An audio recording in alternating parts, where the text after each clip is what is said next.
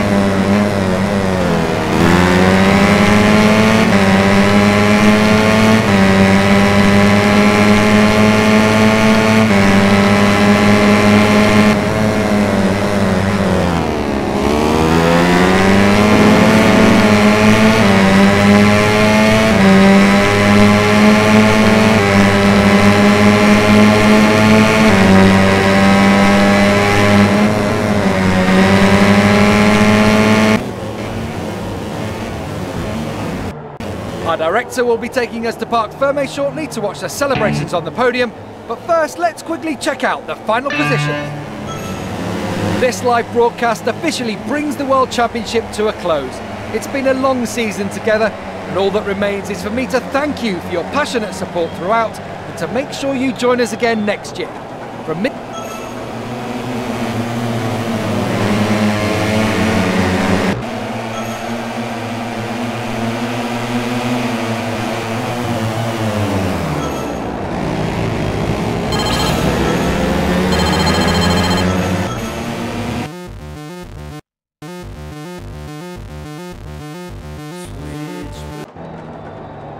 Well, he deserves these celebrations as his mechanics give him a big old cheer.